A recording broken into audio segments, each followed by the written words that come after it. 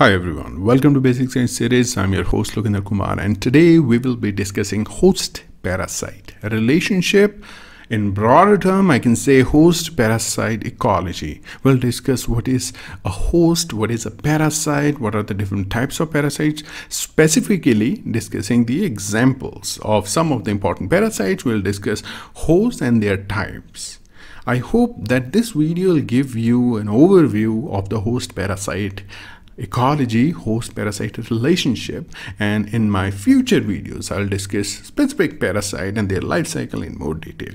So please stay tuned and watch all these videos in this series so that the topic or the subject parasitology is clear too. Let's jump onto the video. So we'll start with the topic which is host parasite relationship I would say, let me write it down, host parasite ecology.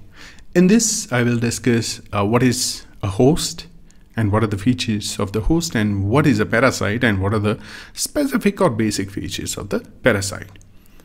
So we'll start with the host and then we'll we'll discuss the parasite. I'll, I'll make the diagrammatical representation also. Uh, my diagrams are not that much interesting, but hopefully you will be able to uh, you know see them and understand these are the host and the parasite. So here I'm trying to draw the host. So this is say if if I have a host for a specific parasite as a human as a host, so this will be our host and this is what I'm trying to draw is a parasite, a worm. So many of the parasite, they belong to the helminths. Now, parasite can be living organism. So I would say it, it will be a living organ, an organism and it lives in or on the other living organism. So this is important point. It can live inside or it can live on the organism or, or other living organisms like humans. It can derive nutrients because parasite needs nutrients for its uh, life. That is why it's gonna take out the nutrients. And then there will be no benefit to the host. That is one of the important uh, parameter. Next host will have the parasite. Second it will have the disease because of the parasite because there will be a lot of loss of the nutrients from the host. So this is kind of a one way a relationship where parasite is getting benefited and the humans they are getting lot of loss or the host is getting a lot of uh, loss from the parasite. Now if we discuss parasite. I hope now it is clear. So we'll we'll jump on to the parasite types. First is the ectoparasite and second one is the endoparasite. Ecto means which is on the surface which is not penetrated up to the tissue level. So you can say it inhibits the surface not the not the tissue level. So uh, the parasite is, is not there inside the tissues. Example is free fleas. You have uh, fleas that, that can act as a parasite. So we can we can we can characterize them into the ectoparasite category. Second, endoparasite. The parasite that can live inside the body and penetrate up to the tissue level. You have Leishmania or Plasmodium, I would say. And then there are other categories, important categories. So I'll, I'll again write those categories down we'll discuss uh, the different different uh, points regarding those category categories. One is obligate parasite. Obligate you, you, i'm sure that you understand this particular word and then facultative.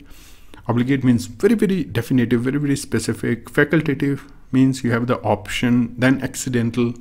I'm sure you understand what is accident and then aberrant.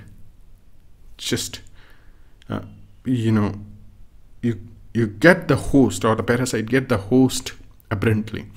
Now, obligate parasite means the parasite cannot exist without the host. Second, facultative parasite, where parasite can live a parasitic life.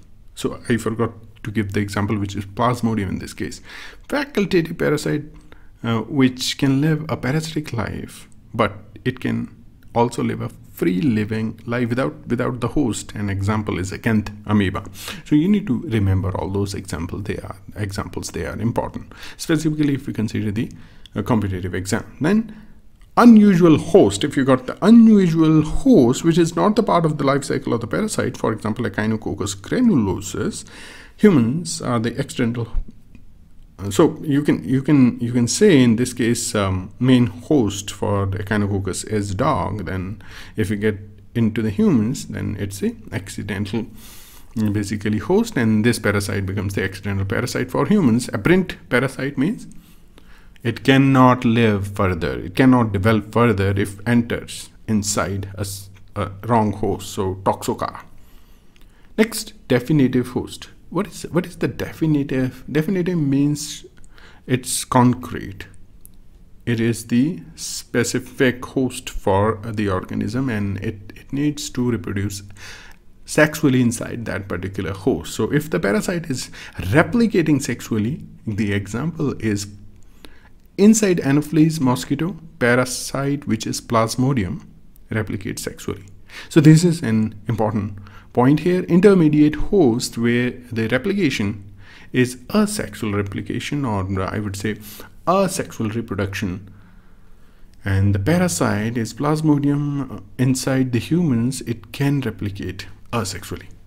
So reproduction is asexual reproduction and definitive host reproduction is sexual reproduction. Then there are other hosts like reservoir host. You have paratenic host then amplifier host etc. These are all the examples of the host for the parasite. Depending upon what kind of relationship uh, they will have with each other, we can characterize these organisms uh, and, and we can characterize these parasites into different types of parasites. As you can see, I can say Plasmodium is the obligate parasite because it cannot live uh, without the host.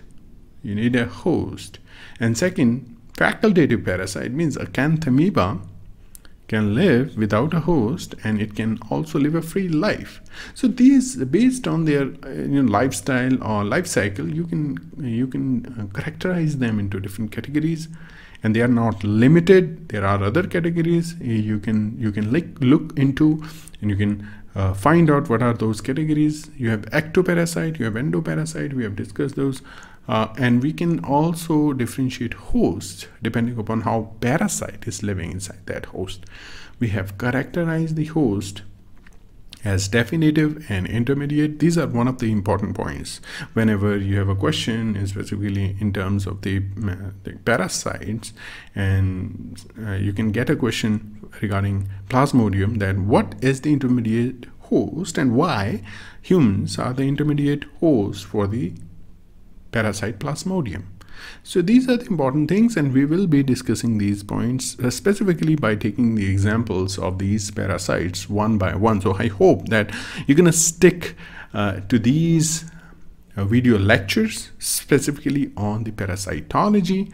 There are not many lectures available and uh, I'm sure that this this lecture series is going to give you a lot of you know benefit regarding your understanding of the parasitology you'll, you'll, get a lot of notes and i hope that you know while going through these lectures you should be able to understand their life cycle what are the different features of these parasites and uh, how in the environment these parasites they are living so with that note, I'll just conclude this video and I'll see you in my next video where we will discuss more topics of parasitology.